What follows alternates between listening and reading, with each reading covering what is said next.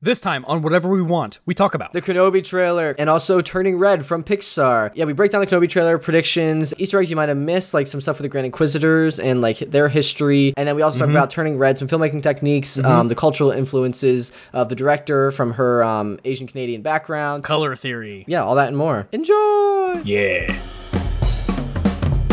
Pre butter, pre pre butter butter, pre butter, peanut butter. Daniel, happy St. Patrick's Day week. Happy St. Patrick's Day week. St. Patrick's Day fell on like Thursday, and our podcast comes out on Monday. So I was like, should I make it this Monday or next Monday? And I was like, you know what, this Monday, because then people might watch it on St. Patrick's Day.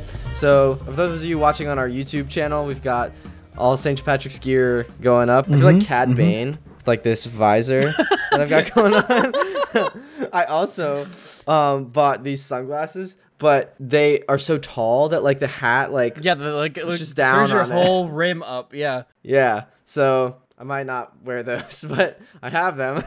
Daniel's got his fedora and this amazing necklace that is gonna Yeah. distract me the whole time. What can I say? I'm the lucky one. You know.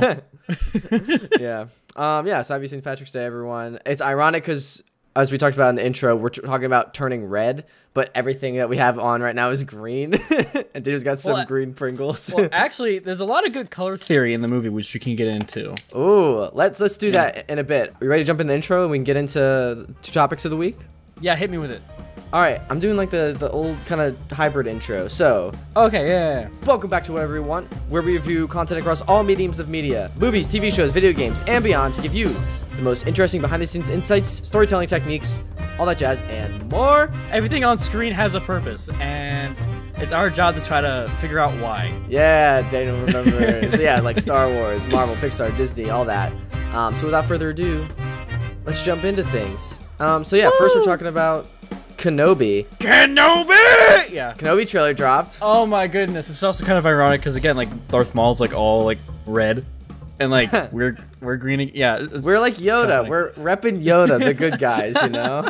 I'm so excited for this show. It's so great. May like 25th. If it doesn't get delayed, I think that's actually going to be our 100th episode. Is like our first episode covering Kenobi. So yeah, that should be interesting. We've got some ideas for that. If you have any ideas what we should do for our 100th episode, like let us know. But yeah, so do you have any just like overall thoughts or things that like stood out to you that you either really liked or didn't like? Okay, everything was amazing, just off the rip. The only, the one and only thing that I did not like was the design of the Grand Inquisitor. Yeah. because we've seen it. We've seen his his species before. Was it like Pohan or something like that? Whatever they're called. I don't know. Pohan? I'm watching through Rebels again, or for the Um, first time slash again, kind of.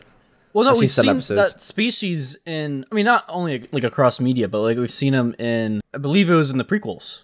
And the, there's a Yeah. member of it in the Senate. And then at the same time, um, what was it? And Clone Wars. Yeah, Clone Wars and Jedi Fallen Order. Yeah. So it's it's really interesting. The Grand Inquisitor, I was doing some research and he actually used to be we found out like in one of the series that he used to be one of the Jedi temple guards that actually Yep. like arrested Ahsoka when she was like wrongly accused for um like betraying the Jedi order. He like was good and like dedicated his life to like guarding the temple. I, I, it kind of makes sense why he would go evil. Like he goes through the same Jedi training as like all the rest of the Jedi, and then they're like, "You're gonna be a guard and do nothing fun." I'd be like, you know what? Screw that. I'm gonna be a Sith now. but it also sucks because Yeah, no, that was a good point. he like went to the dark side and isn't even like a full Sith. but hey, at least he gets to live. I mean, think about it. Like you're there and you're like seeing all the other Jedi like Yeah. get slaughtered. Escape, change teams. I'm not down for that. so in the show, like in in Star Wars Rebels, the Grand Inquisitor is played by Jason Isaacs, who's actually the guy that plays Lucius Malfoy, like Draco's dad in Oh. the in Harry Potter. So he has like a really like menacing, like haunting voice. voice, Um, yeah, that but- voice is epic. But in Kenobi, he's not played by him anymore. He's played by Rupert Friend, I think, who's someone else. So I I don't know if he has like more of a stunt background or something. Rupert Friend, like one of the friendliest names that.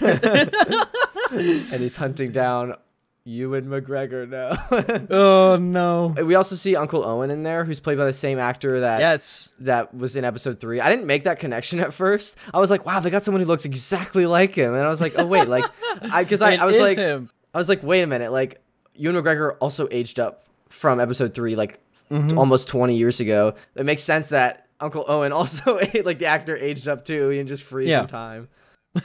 I think this takes place ten, like nine or ten BBY. Like I think it's nine before the Mm. Battle of Yavin, which is actually like one year. I think after Solo. So Do you think we'll see any of those characters in there? That's interesting. I don't know if we will. I don't think we do because again, in, in New Hope, right? That's like the first time that they meet up. Assuming That's true. Unless I mean, but I think Obi Wan has met Chewbacca, so it would make sense if they. well, yeah, other than Chewie, but like They could have run into each other, or like Lando, because like Lando ne- and Obi Wan never meet after that that's weird to think about. Yeah, Obi Wan's never met Lando. until now. Um, when do you think, uh, or do you think we'll see um like Cal from Fallen Order or any other Jedi? No, okay, I don't think we will, but I would love to so freaking Yeah. much. I, I think they oh should before he gets to like ages out of. Yes, I definitely. guess. they need to well, actually, that takes place after Episode Three, so he could be a few years older now because this is like ten years after that. Wait, yeah, hold on. If this was gonna happen, It would be like now. no, because he was like a youngling Oh. when like when Order sixty six happened. right, but now that's ten years later, Yep. So he'd be like sixteen, maybe. or however old Luke is, pretty much. That like young Luke, which I just got so sad seeing like Obi Wan watching Luke. Like, yeah. And oh man, dude, that's so I sad. saw 'cause he's this like edit, and it was like the parallels of it. him remembering like Anakin like pod Anakin? Mm-hmm. racing and like all of his good memories with him, and I was like, oh, that hurts the heartstrings a lot. Yeah. I, I wonder if we'll see like a big part of the show will be like Kenobi dealing with kind of like depression and like his feeling of Oh, failure. Yeah, it 'Cause needs to. it It, feels like needs to. He's he, he gives that speech. He's like, we lost, like the battle's over, and, and like no hope left, and like Star Wars starts in a few years with a new hope. Like I feel like there's a disconnect, and I I wonder if we'll explore his journey. Like in Episode Four, when we see him as like Alec Guinness, he's like really kind of like jovial and like I'm just a space wizard, woo! Like he, he like feels like more upbeat. Mm-hmm. And like in this one, he's like so depressed. Maybe he's like finally like things could turn around, but like like in A New Hope, but like in, in this, he just seems like so down, and, and that's got to be tough. Like his whole way of life is just gone, and Just like gone. feels like it's his fault because of Anakin. I don't know. I don't know the conversations if he's been having any with Qui Gon. I would love to see. I feel like it needs to be something that shows like his progression and like I know. because again, Yoda at the end of episode three was like, "I still have more training for you," right? So Yeah, there's maybe we'll see that or like yeah, we need. I feel like it'd be really good to see that. But in that, I wonder if that's going to bring out the Grand Inquisitor and you know have him come out. Also, at the same time in the comics, we also there's that encounter with like you said before with Black Chrysanthemum where yeah. what is it? Obi Wan is fighting him to save Owen. I think potentially. I that's what I think we might explore like the rift that comes between Owen Lars and Obi Wan because Yeah. like in episode four, Owen Lars is like no nothing to do with the Jedi blah blah blah. So I think this might lead to that. I I have some predictions actually. Yeah. I think the story might go like so the Inquisitors are. Like so, the point of the Inquisitors is that they are hunting Jedi that have like escaped Order sixty six, like kind of tying up loose ends. They're trained by Darth Vader. I think that the Inquisitors are gonna come to Tatooine chasing someone completely random, not knowing that Obi Wan is there, like some other Force user, which is I think who we see either Force choked or like being hung in that one scene uh, in the trailer. Um, I think that might be the other Force user or something. Um, and I think this Jedi just accidentally gets too close to like Kenobi and Owen Lars and like the Inquisitors can kind of sense like there's someone else here. And then Kenobi has to go off world to lead them away from Luke, which is why we see him in that other world, which is like inspired by like Hong Kong according to the creators. Yeah, that makes a lot of sense because like it's it's that close. If you're getting right onto the planet and Yeah. right there, yeah, he needs to get them away from Luke. So it actually makes a lot of sense. Yeah. I, I really want I don't know if this will happen now that I th- think about it like that way, but I think it'd be really cool if Kenobi just started like a cold open with like the Inquisitors, like this epic like chase scene, Inquisitors just hunting down like a random Jedi, not one that's connected to Tatooine, but like the Inquisitors um are like sprinting down and like parkouring and just doing this epic chase and battle with this like formidable Jedi, and they just like brutally like murder him, and then him. like Inqu- Yeah. so it shows it sets up that the Inquisitors are like powerful and to be feared, and then it just like as the Jedi like slumps and falls to the ground, it like there's a close up of the Inquisitor's face, like bathed in the red light of like his lightsaber. Like oh that'd be so sick. That'd be sweet. And then the, cut to the Kenobi title. That'd be sweet, but at the same time, if you think about it too, like the Grand Inquisitor, he probably recognized Obi Wan too. yeah, yeah, So that's also a whole nother thing where he's gonna like really not just hide himself with like how much he's using the Force, but like right. Yeah, I think he's gonna use blasters more. You know, it's so uncivilized. is it isn't that something that he does? Like, doesn't he lo- start losing his connection to his Force or to the Force to try to hide it? I'm not I sure. forget if he does that in the comics or not. Maybe Duel of Fates then that came on. Whew. Oh, dude, like remastered. Oh my gosh. I, I and then we get like uh Obi-Wan just like cutting like some beef or something like that. I really want a montage of like a fun montage of Obi-Wan just like trying out different normal jobs but like messing up and like nothing fits cuz like his skill set as a Jedi like he can't do anything else. so he's like he tries to be a butcher and then he tries to be a moisture farmer and he just keeps like failing. He tries to be a Jawa but he's like too tall and the robes are too small on him or something. he's like Utinni. Uh. he tries to join the Tuskens, which is why he knows so much about them. Maybe maybe that's why he knows so much about the Tusken Raiders because he says like they're like they're not that precise or whatever he says or like they only travel in straight lines. Maybe he knows that much about them because he tried to join the Tusken tribe and just wasn't accepted like He goes through his own Boba arc. Boba arc. Yeah. Boba. No, but that's funny to think about because in Obi Wan's early life, like this is before Phantom Menace, he was almost not a Jedi. Like he was, really? yeah, because he was technically considered like a failure. Think about it. He was not a knight yet, right? He was still Padawan, but he was almost out of the stage of being like a proper youngling to then become a Padawan, right? He was like really old relative Like to that, wait, you right? mean so he was too old like In in, the Phantom Me- episode 1 he was too old to be a, he was almost too old to be continue being a Padawan like he was supposed to get Yeah, So I, yeah, but then, yeah. but then along then the way, he killed he, Maul. Well, no, no. Along the way, before again, before Phantom Menace, he ran into Qui Gon, right? Um, Uh-huh. because he he was with the Jedi and all that, but they they sent him off to like this AgriCorps or something like that, off world to this one planet. Because like again, he wasn't really doing that good of a job as a Jedi. His connection to those, the Force wasn't that great. But then somehow his paths cro- crossed with Qui Gon, and then from there he was able to take him on as his Padawan. And it's funny because we all know Obi Wan's like the poster boy. He's like the ideal Yeah. Jedi. You know, That's so it's just funny to crazy, think about like It's a good life lesson. Like things might not work out a certain way that you think, but like you never know down the road. Like certain things turn out the way they're supposed to. You know, Obi Wan inspiring millions, trillions no, across it- the galaxy. It, it would be funny to see him like kind of like go back to like those roots in a way and like like understanding like again like you're saying like normal jobs like going back to like some kind of like AgriCorps or like some kind of like uh yeah, you know just basic like agriculture or like basic butchery job or something like that just so he can like get by yeah, you know it'd be funny if he did hit like hit like the force for like party tricks just to like, make money yeah. he's like oh man i need one I quarter mean, portion Anakin so I uses need- it to to freaking flirt and with Padme, like with the pair, floating pair. Yeah, like, true. Apparently that worked somehow. Honestly, Uh. if, if someone did that to me and just like floated a pair over me, I think that I'd probably hook up with them too. I wanted to ask you what you thought of if like we'll see any of the characters from like Battlefront 2, like the new campaign. So for the new one, she is the daughter of Grand Admiral Versio. Uh, I forget his first name. But okay, and Grand Admiral, cool- Grand, Grand Admiral is just like this high-ranking Empi- Imperial officer, right? yeah, like he like he has his own like specialized destroyer and an entire fleet, That's cool. right, of, of starships. That's the dream. I'm pretty sure he's also in charge of Project Cinder. It was like the giant space lasers. It was like an entire array of giant space lasers that then that go on and destroy planets. Now that didn't go that didn't go on until later on, like again in the sequels. It could be possible that in the series it'd also be cool to see like the like the starts of those programs. You know what I Yeah. mean? Like like seeing them like start to build up these these uh like super like militaristic projects and see like these different characters where they are now and like seeing how they would rank up to then get to those points. You know what I mean? Yeah, definitely. I'm just super excited about it. We could see Ahsoka potentially, even though she'd be a lot younger. I don't know how they do that. Do you think we're gonna be seeing any of the crime syndicate? oh, like the Crimson Dawn, like with Maul. Yeah. I think potentially, like uh, again, this takes place one year after Solo. We know spoilers for Rebels and like Darth Maul's story, but like he dies a lot closer to Episode Four, so Yeah. they could encounter or like the Syndicate could encounter because Maul at this point is is like still at the, I think top of his game. Like him and Qi'ra are like kind of kicking butt. He also might just think Kenobi's dead at this point until he goes back and finds him, right? True, maybe I don't know. Again, I don't remember how Rebels goes because I haven't seen it. We're watching through it.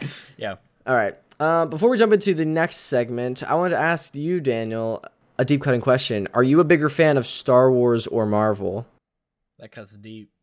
That's like that's like choosing your favorite child. It sways whichever one I'm talking about, or like has stuff coming out right now. If I'm being honest, I like the idea of Star Wars more. yeah. Okay. Because it's like, Like- so abstract and out there, and like not in our Yeah, it's- universe. It's different, and it is it's its own fantasy. Like it's sci-fi, but it's also this fantasy where it's it's there's so many different elements to it that is able to where like Marvel is grounded and is, is also fantasy in a way to where you're able to bring in like you know all these different superhero superpowered beings and all that, but and of course I love Spidey like beyond all belief, but like that's tough because it's like if I had to choose between living in like one universe or the other, right? That wasn't my which one- question. I would be saying Star Wars. What do you think is Because, like- fan of? Is my question. That's no, no, no. My point is that that influences my decision. Yeah. You know, like I'd be like, oh, I'd live in you know the Star Wars universe because then there's so much Well, higher 'cause it's tech. so I- I feel different like I have and much more crazy. freedom. Yeah, it's so different. Yeah, exactly. So Okay. that's, that's I think that's my honest answer. Like it's, it's tough, but like I have more of a. I don't even say I have more. They have the same connection to both. It's just tough. But I want to say if I was, But I feel like you- there's you also have more chance of just being like a poor like slave because there's so many planets like that. yeah, but then you also have the chance of a Jedi coming and saving you, and then you starting out like this. chance. this you start you starting out this empire and like we It's like even less odds than like winning the lottery. but there's a chance Oh my Saying gosh. okay. I don't know what mine answer is. I, I because we're talking about Star Wars, I'm so influenced and leaning towards Star Wars. And right now I just love all the Star Wars stuff coming out. But like if you would have asked me like five years ago before all the Mandalorian stuff, I definitely would have said Marvel. But now that like Star Wars is kind of getting better again, I, I don't know. it's tough it's tough Are you ready to jump into the next segment? We're talking about yes All right, so we're now going to start talking about uh, Turning Red. Again, spoilers ahead, like we said in the intro. The new uh, Pixar movie. Again, it's ironic because we're wearing green and it's red, you know? well is it ironic is it ironic jake did you pick up on the color schemes of like the friend group and also tyler uh, a little bit. What, what do you mean? What do you mean? Can you explain? so there's there's um our main character which of course uh mei lee and she's able to May May. Yeah. yeah mei mei she's able to turn into like this giant red panda right so Yes. obviously her, her color scheme's like this orange and red Right. Right. I liked her new hair Um, better. Hey, look, I'm, I'm repping that. See? yeah you are repping There we go. But the complement to that is Green, is her main best friend. uh-huh. Um, Oh, was yeah. Then the complimenting her with that. But then also at the same time, what was it? Abby and the other chick. Is Abby was, the um, crazy one? I liked Abby a Yeah, lot. Abby dude, was I my feel like I- favorite. I feel like I'm Abby out of our friend group. I just Like like, go off and like- I just like say random stuff all the time. I'm just like, or we can kill him, you know, just like like random stuff like that. but no, they're like perfect inverse because they're yellow and purple. which means they actually have they have a square format for when it comes to the color wheel. Whereas Tyler, Interesting. Tyler is blue, Right. right? So if you think about it, if you move over and get to the orange side of the color wheel, the complement to that is then blue, right? So Tyler's like on this outside of the square, but only a little bit off if you think about Right. it. He's so- sort of adjacent to like Maybelline's like almost red orange. Maybe What's her name? Maybelline. May May? What? I just know her May May. What's her name? Her actual, I think I'm pretty sure their last name was Lee. Um, May Lee. Yeah, Her name's May. Is that it? yeah, but they call her May May okay. because it's like a nickname. I'll call yeah. her May May from here on out. Yeah.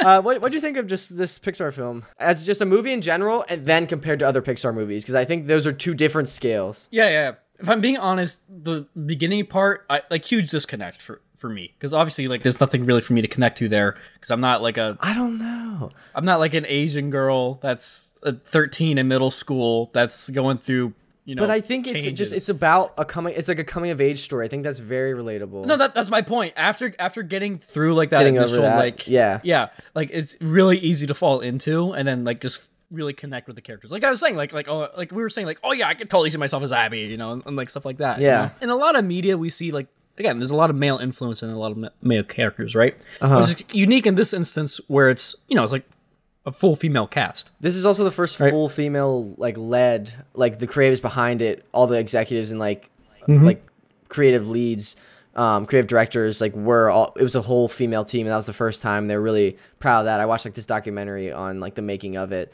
Um, so I thought that was just really interesting. Yeah, and it, and it was a really good job. I mean, again, I, it's it's something that we don't necessarily think about it because it's again, there's so much male influence on media, but like after seeing this film and like you get the perspective of what like what it's like on the flip, but at the same time still having that connect Yeah. with the characters, amazing. Yeah, I really liked it. Just I felt like I could could connect to it a lot. Just like the being pulled between like two like Two different worlds, worlds. Mm-hmm. almost. Um, I thought they did that very well. The director for this, she uh was the director that did Bao, the, the like short film in front of Oh, Incredibles really? two with like the like the dumpling that like won the Oscar. That's great. Her name is funny. Uh, Domee Shi. I thought she did a great job. This was her first feature she ever directed, actually, which I think that's a huge undertaking to do Pixar. But yeah, well, back to my question though, like, what do you think of it overall as a film, and then what Yeah, do you think about it compared to Pixar other films? So overall, it was a great film. There's that connection with the characters, but at the same time, there's also realistic in the sense of like the struggle that they, or maybe it was like having to do and deal with. Yeah, I thought it was paced pretty well too. Yeah, it was also paced very well. What about compared to other Pixar films? But other Pixar films, because those are such a high. that's the thing. It, it's tough because it's like I mean you you know about the Pixar story and all that, and it's like Mm-hmm. obviously I'm like thinking about that because like every every every other film has like its like thing, and this one like tries to have its thing with like the whole red panda curse or blessing whatever, and it it's like almost there, but it's also at the same time almost too grounded to reality. Okay, you don't think it- it's as like crazy as like WALL-E or like a rat cooking Yeah. or something like that. Yeah, exactly. Like like those are much more like Like and onward Playful. is like it's fantasy and Toy Stories. So you don't think it's like okay? I can see Is it- that. you know what I mean. It's like more Marvel esque, right? Like it's uh, kind of in like, Like a the world Hulk? where it could be like I basically explained this premise, this movie to my mom, and I was like, yeah, whenever she gets like emotional, like she turns to this red giant panda. She was like, so it's Hulk, and I was like. I mean, no, kind of. but yeah, like I, I think compared to other Pixar films, it wasn't like horrible. Like I think bad Pixar films are like kind of Cars 2 and Yeah. I haven't honestly seen Good Dinosaur yet, but I've heard not great things about that. And I think that's kind of Good Dinosaur kind of goes to your thing. Like it's I think dinosaurs is like a concept is like cool, but there's nothing like crazy unique about that. Like especially since we had Monsters Inc. Like I feel like Monsters Inc. is like Yeah, the whole, exactly. like, Like- crazy beast. Like that's like crazy. And then Totally you go to dinosaurs. world. That's like a step down almost because that's kind of even more grounded reality than like monsters. I don't know, but I, I can totally I can totally like see that. Yeah. Well, there's like the Disney 3D films, right? Like, Yeah. Again, like like Like, like, Tangled, like all the Moana, print, like tank. Frozen. I'm not. I don't technically include those because those are those. Yeah, no, no, their those own category. Pixar. Yeah, that, Yeah, that's the- not Pixar. Well, that but still Disney. That's why I was just saying that. But like, just Yeah. wanted to clarify because you know a lot of times viewers or just people in general right, like, right, right. well, yeah, Pixar's like too. Toy Story, Cars, Incredibles, Ratatouille, WALL-E, um, testing my knowledge, a bunch of other ones. Yeah. Up. Oh yeah, I guess Up didn't really have this crazy thing. It was just like a big adventure, I think. Yeah. And it, well, it was a big adventure that had like a lot of like weird things attached to it, and there was also a lot of. I guess that's not really grounded Yeah. in reality. But at the same time, it, Up had more of like a sentimental, emotional Up. feel. Yeah, that, I the emotional impact of it, right? This is more. You can't have that like emotional impact. I mean, you can with this. I think they tried to, do it, and they, they did because well. the- I think with the mother daughter with the story. relationship. That relationship Yeah. was really good. Um, but yeah, I just I don't know. I just I don't think this was marketed great. I honestly didn't kept having to remind myself it was like coming out. Um, like I feel like remind me it was out. yeah, I feel like Lightyear's honestly getting more hype. I don't know if that's just because like this was just like a Disney Plus release. Like I kind of felt the same way with Soul, but I also really liked Soul. Oh yeah, dude, I love Soul. Soul was great. I don't know. Soul, I guess, also wasn't too. I mean, it was like After Life and Death. That was kind of that the gimmick of that. Well, Um, it, the, the thing that was different with Soul is like it technically is grounded in an aspect of reality because like a lot of people you know have a belief system and have an understanding of like what a soul is. I think were gonna say But a lot in of people way- die. I was like, yeah, most people do that. yeah, most people do. well, no, but like the way that it was conveyed and illustrated, that Yeah. was the unique thing of it. Yeah, this this I always kind of look for like big visual things because I know Pixar, especially in the early days, they always would try to like improve a new aspect of, te- of technology. Like every time they innovated and like made a new film for like Monsters Inc. It was like the fur on on Sully. They had never been able to render fur, and that led to being able to do Violet's hair. That was the big innovation in um, Incredibles because they could never do like long human hair. Um, and even Yeah. just the Incredibles being like a full human cast Human was like never possible yeah. before. That's why they did. That's why they made Toy Story was because every time they rendered skin, they didn't have the capacity or technology to do it effectively. So it always came out looking like plastic. So they were like, well, let's take this disadvantage and make it an advantage to make a movie about toys. So I think it's just fascinating in itself. But like, I didn't feel like there's anything like crazy. I don't know. I I had to research more like what the big thing was. Like the, if they if they even continue to try to do that. I don't know if they do, but like there wasn't like any like huge spectacle. Like I feel like the fur was like rendered beautifully. Everything was rendered beautifully. They're at the point Yeah. now where everything is like I feel I feel like the big thing with this one was mixing concepts of traditional 2D with uh, yes, 3D. that was something they said in the documentary actually that they tried to do, and they also had a lot of influence from kind of like anime. Yeah. I was, gonna, I was gonna say it's probably a combination of, of anime stylization of like how you get like your you know like obviously like how they drew eyes in some situations and like- Yeah, like and which fit perfectly for like the scenes like this like 13 year old girl kind of thing. Because like Yeah, exactly. like, and they just captured i feel like the essence of being like a, a young kid again so well. Like your crushes change like every five minutes. Like the, literally in the beginning she felt like she was like i'm on top of the world. Nothing can stop me. And then like her crush changes and like her world is like falling apart. Like just that stark contrast like where everything seems like the biggest deal in the world i think was done phenomenally. Like yeah it was great. that is if you are going into this movie looking for something like that you will not be disappointed. And, and like just the emphasis with like like they whenever she was like oogling over someone like her eyes got huge which we didn't we haven't really seen in like um pixar really i don't think ever so far. Like it felt very different stylized in that sense which i think was a lot of Really cases well also i'm not sure if you paid attention to this but like the tears whenever Yeah. there's like tear effects on the characters which actually happened quite a bit in this but what's unique about it is that i'm not sure how they did it i'm not sure if it was like 2d draw over or if it was like legitimate like 3d like rigging for that because Uh-huh. like it looked as if it was like 2d in some instances where it was just like like how it would like bevel and like then Yeah. trickle down in some cases like it was it was weird to see it was like again things like details like that and i feel like again i'm i'm gonna say spider-verse because spider-verse is amazing what they what sony did with spider-verse was start a lot of the conversations that's gonna allow for this new kind of stylization to, to move through into the next wave of cgi movies and stuff like that what I Yeah. mean? and this is like one example of us seeing that like we're, we're able to get more mixes between like this what's now established like traditional 3d to how can we push this even more which is what's awesome about it that's why i love it about it so much Yeah.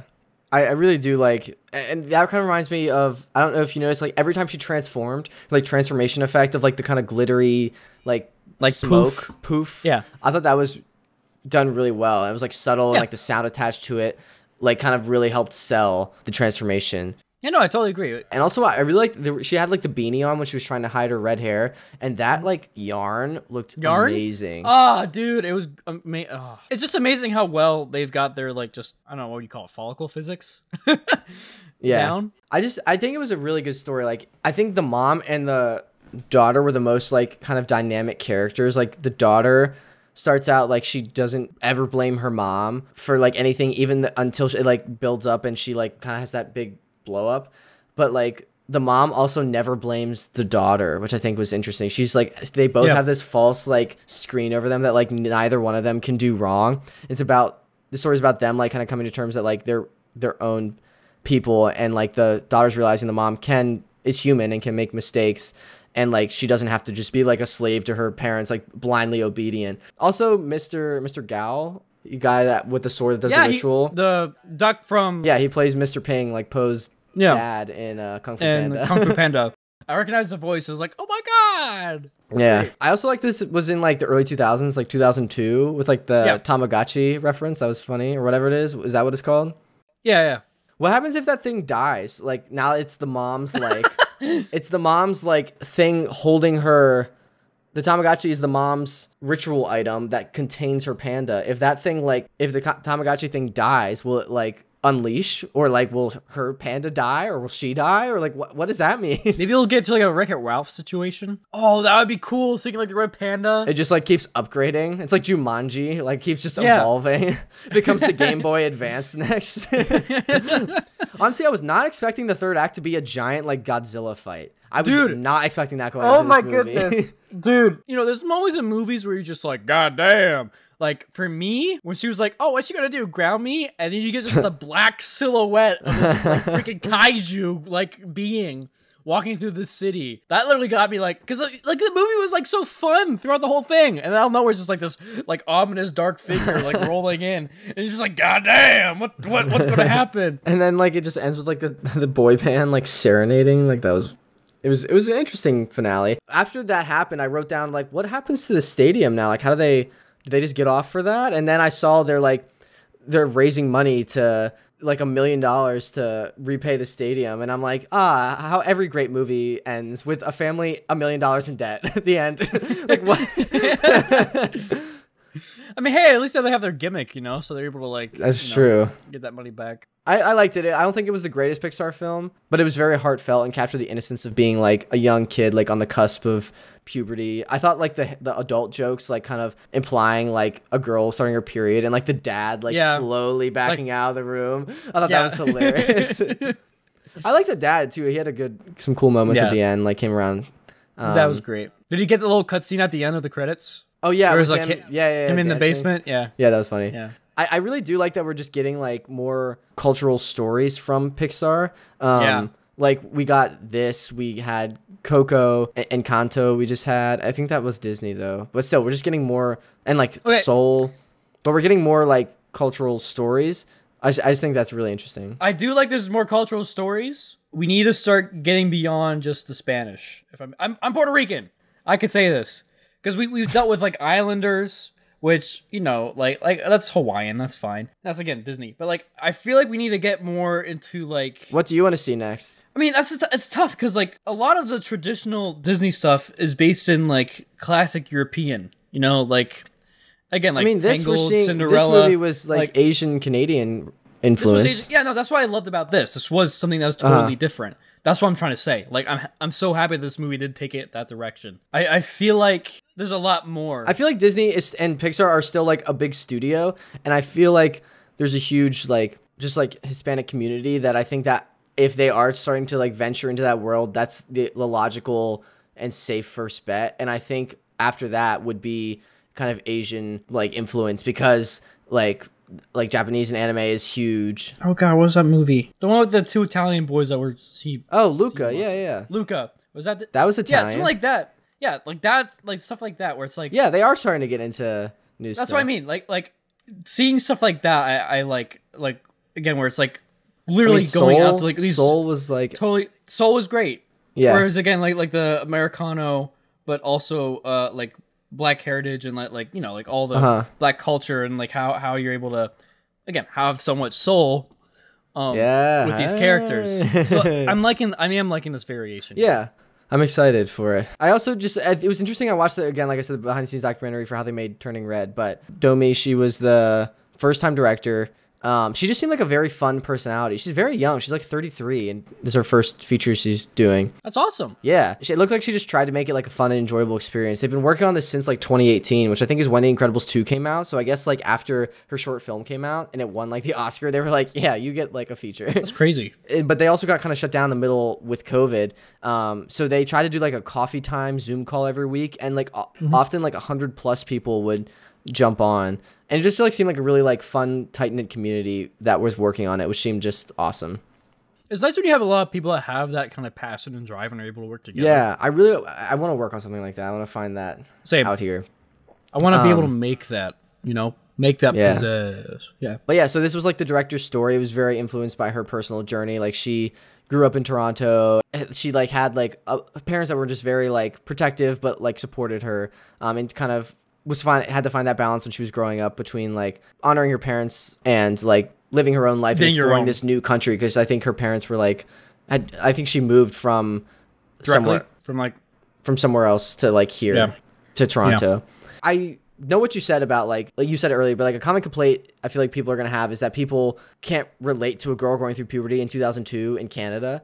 But I, I feel like like we talk about the theme of feeling like you have your life figured out, yeah. like who you are, and then some event or some crazy change like kind of shakes that up completely. It's like very common to like retreat and become like shy and it's kind of scary that you like that you think you won't go back to what you used to be like your jovial like happy self and exploring that change is just really interesting i think done well in this film Oh, definitely. You might not be able to connect with the character directly, but you're able to connect with what they want to do and like how they want to live their life. You know, yeah like like their motives are very you know easy to understand and and, and relatable. yeah I like it took a little bit for me to get into that, but then once I was like, okay, yeah, you know, I can vibe with this. I can vibe with this. yeah also they're kids movies like they're for kids to have fun you know like Yeah, i exactly. i wasn't the hugest biggest fan of luca but like my baby cousins are like big fans of that and, and i'm like yeah that makes sense like it's for kids like i think i think back so fondly about Cars and Monsters Inc., Toy Story, all the early Pixar stuff, because and Ratatouille, because like I grew up with that.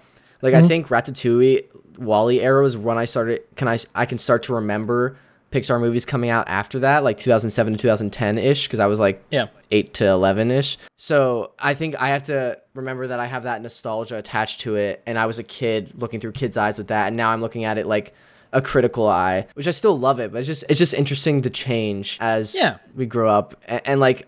I don't know, cause like I always feel like, uh, like Toy Story was a classic, and I feel like it is a classic, and it was so new, but like it wasn't always like around, which just is crazy in my years being here. I don't know. What did the people circa 1522 do without Toy Story? I know. That makes me think of like the time traveler memes. Where it's like you're the first, you're the first villager I see when I time travel back, and you like, it's like a green screen, but like people put on whatever they want. So like some people put on like like really like random stuff, but like in your case it'd be like Toy Story two. I uh speaking of time travel, I actually watched last night. Um, I stayed up really late watching stuff like this, and then I also watched the new Adam Project, the Ryan Reynolds time travel one. oh wait, that's out now. Yeah, it also came out yesterday. I was considering talking about that on the podcast, but I was like, we can't watch like so many things. uh, but I did, and I really liked it. It was a really fun movie, actually. Oh wait, wait, wait! You said uh the music, Oh yeah, yeah, yeah. So the music was actually the so for the what was it for life? the music for Turning Red, for life, or hold on, for What- 4Town, it- 4Town. The For music Town, for For for Town. town and Turning Red. Uh, that was composed by Billie Eilish and her brother. Um, I forget his name. B- Bi- Billy Eilish, But he- Eilish, also Billy, but B I L L Y. But no, I L L Y. No, but he, he's also he has uh he's known throughout the music community. Yeah, I know. I'm- He he have- helped do like a lot of her early stuff. I don't know if he still Yeah. does. Oh, Finneas, Finneas. He does a lot of great stuff, even beyond like just stuff with Billy. Like he does a lot of his own stuff too. Uh, but it was, it was amazing that they were able to work together on this, and they, they were like, it was funny hearing what they were talking about, like um, you know, like trying to get into like that early like '90s, 2000s vibe Yeah, with like and that's the, when they grew like, up, the teen, too, so like they probably, yeah, exactly. Like, they're drawing a lot of like influence off like what they like heard growing It up. kind of So felt kind of like Backstreet Boys almost. Like that's what I was thinking. yeah, I know? could definitely hear that influence. I think it was it was pretty good. It was pretty fun. Yeah. I just love how like they were like, oh, we're gonna marry them, and like, oh my gosh, it was just it was so good. The moment when she started, when Mei Mei started going under her bed and started like drawing all those drawings. Yeah. like, oh my god. What and it was the like that was me. no. I'm kidding, I there- know. No, but you know there was somebody who did that about me, and I was like, uh, yeah, I know. I also weird. like that. Uh, I don't know what the girl's name is. The one like quiet girl kind of started exploring like that she might be into to girls a little bit. Mm-hmm. And I think I think one of the like the producer or someone on the show, not the producer, but like maybe the production designer in the documentary, she she's homosexual and she is married to uh either dating or married. I think she's married to um another woman and they have kids. So and she like kind of put her influence on that character a little bit, which I thought was done really well. Cool. You ready to jump into the next segment? To ETTT, totally tubular trivia tidbits. Yeah. So did you know in Tangled they had what was called a hot boy meeting, hot man No. meeting? Yeah. So the directors of Tangled they wanted to make Flynn Rider the most handsome, most attractive male lead Disney has ever made. That was the exact quote. And so they held a large hot man meeting where they gathered about 30 women from across the studio and asked them what they considered attractive in a man. And then they brought in hundreds of images of their favorite male actors and celebrities. And then after like a bunch of deliberation, they like narrowed down Flynn Rider's look to what we see in the movie. so that's how we got Flynn You Rider. know, that makes a lot of sense. My picture was up there. I'm just kidding. As I'm dressed in this, it was me dressed exactly like this. Imagine you doing like a deep fake onto Flynn Rider. Oh my gosh. so it's literally just your face on him. Oh my god. Yeah. All right, are you ready for a patron shoutouts? Yes. Cue Epic Stars music. Boosh. We got patron Lori, Frank, Rick, Lisa, Evan, Tony. Thank you so much for pledging the tier. They can see the shout out. If you like to support us over on Patreon, the link is down in the description. You get the audio episode early, special benefits, cool perks, all that jazz and more. Roll in the Discord. We sometimes talk to you guys. Yeah, thank you so much, seriously, to our patron supporters. We really do appreciate it. Wait, I do have a tidbit. This is kind of recent, and this is more of a game, but it also kind of is film. So a big update just came out to Destiny 2. I know there's a lot of people who might game in our community, but there's this one mission where you go into like this this uh, swamp, and there's an actually a a Star Wars reference in there. They have like this little creature that like has this little eye that pops up, and it looks a lot like the creature that's within Oh, yeah. uh, the trash compactor of the New Hope. you know yeah so i thought it was funny that, that they had that as a reference that was just in the game because Destiny and, and Bungie chose a lot of experience, you know, from like previous work that they did with Halo, but also obviously like Star Wars and graphic novels like Dune and stuff like that. So it was just cool to see like little tidbits like that. Yeah. All right. I do have a comment though. So if you'd like to leave a review on Apple Podcasts or comment on our YouTube channel, we will shout them out in this section here. Yeah, actually, so Brandon, uh, Brandon Swafford, the guy we interviewed that worked on What If, great guy, but he commented on our Batman review and he said, Great episode, guys. I really enjoyed the Batman. It's a movie with an aftertaste, which I, I think that's a good Yeah, good that's a good description of put it. Yeah. I haven't- haven't heard it like that, but yeah, I like that. So thank you, Brandon. Appreciate it. All right, ready for the introduction? Yep, tell me when. When we just talked about what we want to talk about, and now we're done. Blah. Thank you so so much for listening. Seriously, really genuinely appreciate it. Um, next time, I think we have another episode from someone we interviewed before we shifted kind of back to doing reviews. I think it's it's a little bit of an interesting episode. I don't know if there's video for it, uh, but it's he's a really cool guy. He is like the head of a visual effects studio in London that like worked on Dune and actually worked on Batman. So yeah, I think that's gonna be next week if I'm remembering correctly. Uh, so I will have to do some fancy editing for that. But yeah, we'll figure it out. Thanks again for the support. Happy St. Patrick's Day and see you next time. Goodbye. Bye.